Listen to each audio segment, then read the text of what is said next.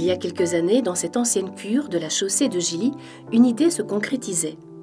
La mise sur pied d'une association visant à toucher toutes les personnes d'origine africaine arrivant en Belgique et plus particulièrement à Charleroi. Une initiative soutenue par la pastorale des migrants. La maison africaine était née. La vocation de la maison africaine, c'est d'abord d'être un point de ralliement de tous les Africains qui arrivent en Belgique. Mais un point de ralliement par rapport au fait que ceux qui arrivent chez nous euh, un gros souci, c'est le dépaysement. On arrive dans une terre euh, étrangère et il faut bien s'adapter, il faut trouver ses marques, il faut gérer le quotidien. Et la maison africaine, la spécificité, c'est que en fait, euh, le public qui vient ici est un public qui non seulement n'a pas de repères, mais qui n'est pas reconnu comme tel selon la législation. Donc c'est des sans-papiers. Et la première chose, donc, c'est de régler, entre guillemets, ce problème d'état des sans-papiers. Nous avons 30 jours en principe pour introduire les recours devant les conseils des contentieux des étrangers. Parmi les activités de la maison africaine, la principale est le service juridique. Chaque jour, ils sont nombreux à se presser à la permanence du juriste. L'assistante sociale m'avait dit qu'il fallait avoir un avocat, mais les jours qu'on m'avait convoqué pour aller là-bas, les gens qui venaient frapper à la porte de la maison africaine ne savaient pas où et comment euh, commencer leur parcours ici sur les territoires belges. Et c'est par rapport à ça que est née l'idée généralement de créer un service juridique pour pouvoir d'abord informer et assister et au besoin aussi orienter les demandeurs d'asile tout en leur expliquant leurs droits et leurs devoirs.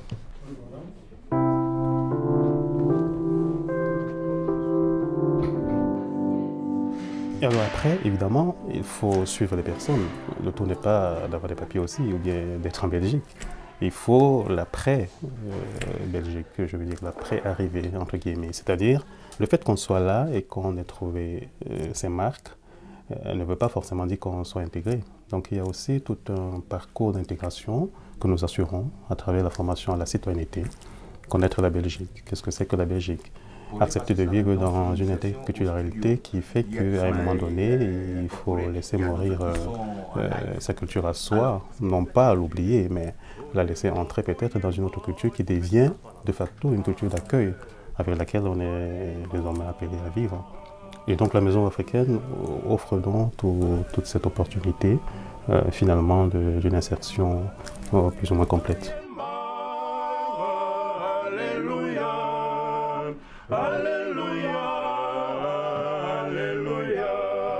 Euh, la musique, vous savez, c'est quand même euh, un lieu d'expression euh, interculturelle et même, je dirais, supraculturelle. Donc, les gens, ils viennent avec ce qu'ils ont de culture, dans la façon de chanter. On exprime aussi souvent les sentiments par la façon de chanter. Donc, on, exprime ces sentiments, mais on doit accepter aussi qu'en face, on a d'autres sentiments qui sont exprimés. Et alors, il faut bien trouver le juste milieu dans tout cela.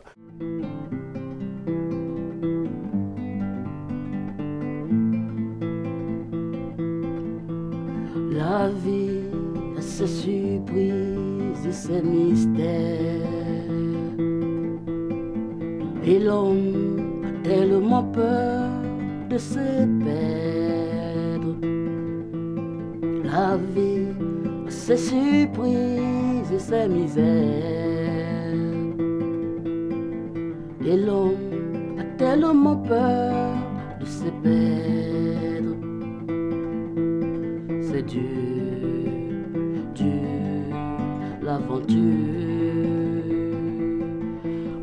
Alors, quitter son village, c'est partir à l'aventure. Donc, je, le fait de quitter, là où j'étais pour aller à la capitale, parce que j'étais à la troisième ville du Cameroun, et d'aller à la capitale, j'ai ressenti ce que ça fait de laisser les gens qu'on a aimés derrière soi. Parfois, quand je chante ça, quelque part où je fais une soirée, les gens me, me, me croient que je chante parce que je suis en Europe. Non. Pour moi, une fois qu'on est quitté, là d'où on a grandi, et laisser les gens derrière soi et reprendre une nouvelle vie, je pense que c'est l'aventure vraiment que tout le monde sait. Ceux qui sont déplacés savent de quoi je veux parler. Il y a les ateliers de cuisine. Et là aussi, évidemment, la cuisine fait partie de la culture. Euh, une cuisine peut dire la culture d'origine, elle peut dire la façon de faire, la façon de manger, peut dire la façon d'être, de penser. Il faut aussi accepter que eh cette façon, elle va se confronter à une autre façon. il y a les ateliers de formation à l'informatique. Ceux qui viennent euh, des régions où la communication n'est pas la communication Internet ou bien des Android, mais donc vous voyez qu'on est finalement à la croisée des chemins et, et tout simplement à la croisée des cultures, je dirais. Mais que chacun arrive à trouver sa place, que chacun arrive à être aussi, en étant ce qu'il est, qu'il parvienne à donner autre chose et à recevoir aussi autre chose que ce qu'il est. Donc c'est ça, évidemment c'est un grand défi. ça se fait pas, c'est pas parce que je le dis de façon aisée que ça se passe de façon aisée. Donc le défi il est là, et c'est de d'aider aussi les uns et les autres à, accepter la réalité. Oh, oh, oh, combien sont partis? Oh, combien sont hmm, revenus? C'est du, l'aventure.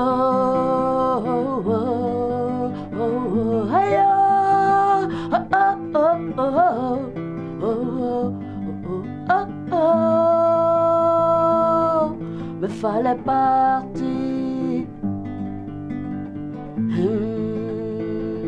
Mais fallait partir.